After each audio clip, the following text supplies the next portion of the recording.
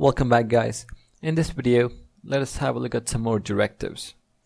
The first one is the ng-init directive, which is used to initialize Angular application data. Now let us see how to initialize two variables a and b which represent sides of a rectangle and calculate its area. In your body tag, type ng init is equal to a which is equal to 5 and b is equal to 6 and under our script tag go ahead and use a paragraph tag. Type the area is length times breadth. So a star b.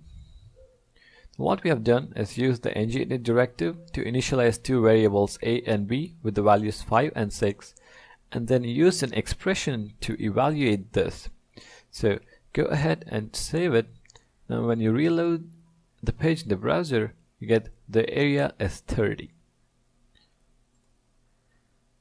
Now, the second directive we are going to learn about is the ngbind directive. The ngbind directive has a similar, function, similar functionality to an expression. Let us see how.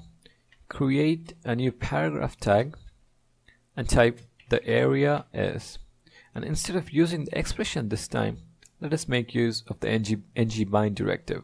Specify a span tag and as an attribute type ngbind is equal to and this time you specify what data you want to bind and display in the HTML page. So it's going to be the area so it is again a star b. So a star b. Go ahead and save it So when you reload the page, we have the area is 30, the area is 30. So we see that the expression and the ng-bind have a similar functionality. Now, it is not necessarily numeric values that we can initialize. We can also initialize string or an array or even objects. Let us see a few examples. Let us go ahead and initialize a string.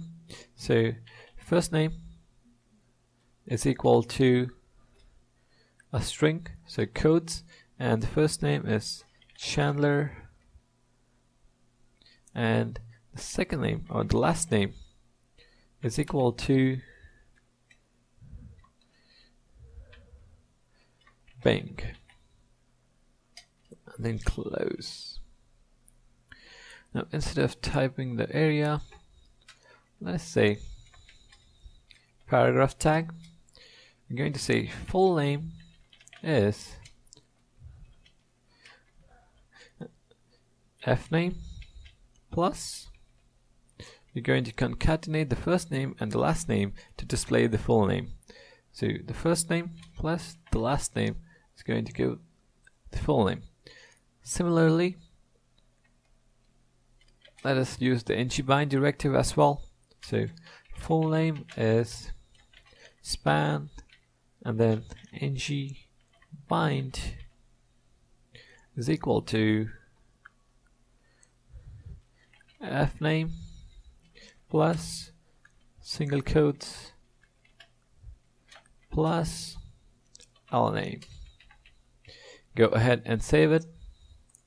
When you reload the page full name is Chandler Bing full name is Chandler Bing. Now we can also use an array so let us type a new array. X is equal to, or even numbers maybe. Even is equal to 2 4 6 8 and we can have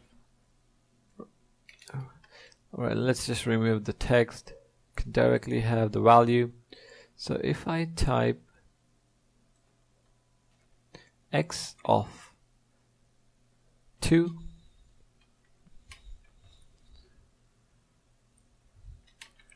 and and this ng bind directive again if I type x of 1